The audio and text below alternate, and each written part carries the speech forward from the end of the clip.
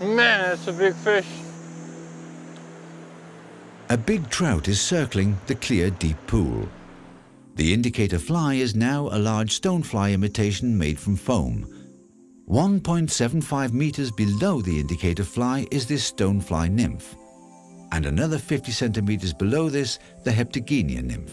The Heptagenia nymph is heavily weighted to fish deep.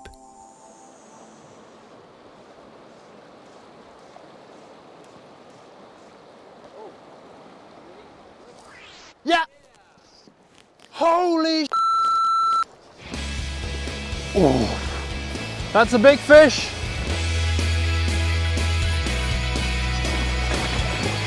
Stay up, Mike. Yay!